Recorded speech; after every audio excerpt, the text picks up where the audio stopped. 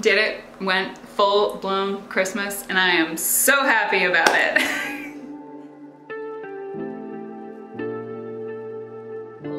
I'm Janel and this is To DIY For.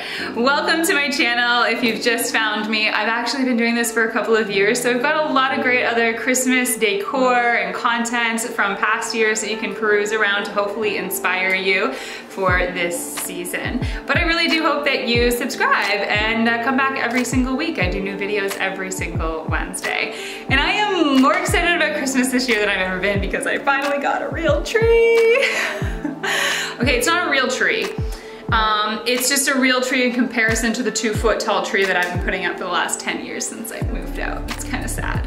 But now, now I've got a seven foot tall fake tree. And I was so excited to decorate it until I realized that I don't have a lot of decorations for it.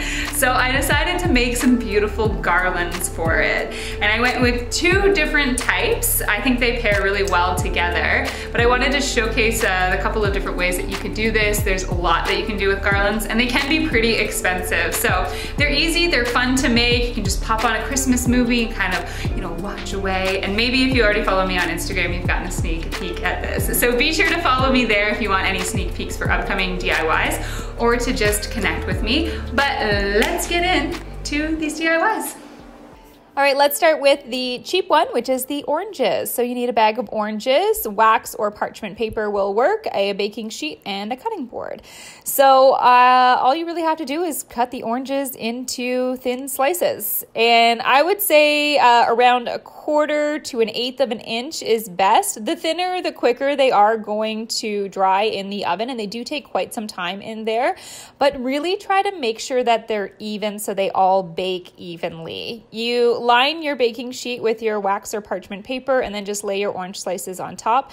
Don't bother with the ends because when it's just the rind, it's really hard to actually puncture when we're all done.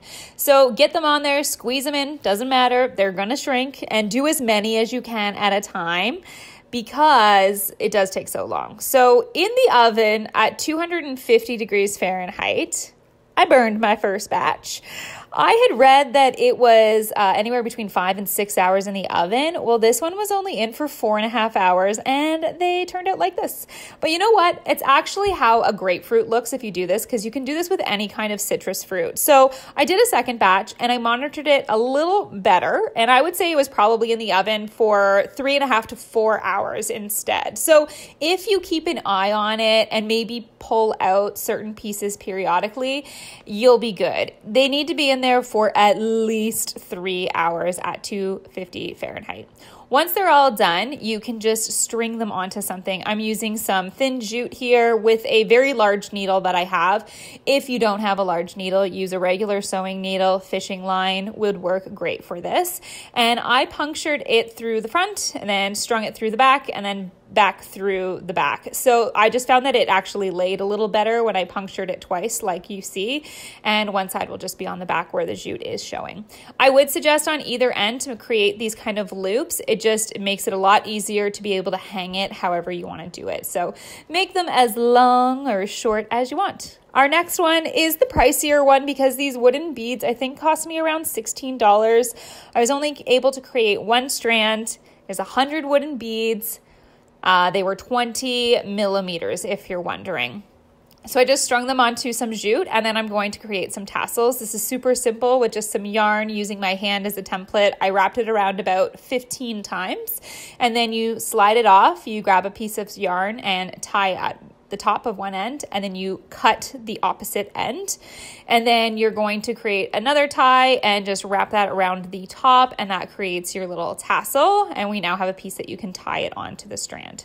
So trim off any excess you might have. And then I just added these tassels to every 10 beads or so. And uh, that was really all there was to that one. So I didn't end up putting this garland on my Christmas tree because I didn't have enough with the one strand, but I thought it looked great, kind of styled across my TV stand. So I kind of made that a little bit like a mantle. If you're wondering, there's also some DIYs in there from last year, like my little gnome. And then here on the Christmas tree, I used an entire bag of oranges. I believe there was six in the bag, and I had plenty of garland for the entire tree.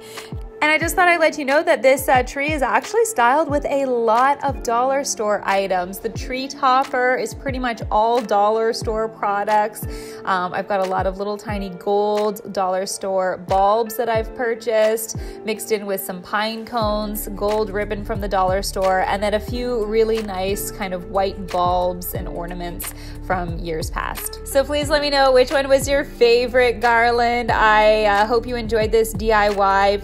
Please be sure to subscribe so you don't miss a video. I'll be back next Wednesday with a new one. Cheers.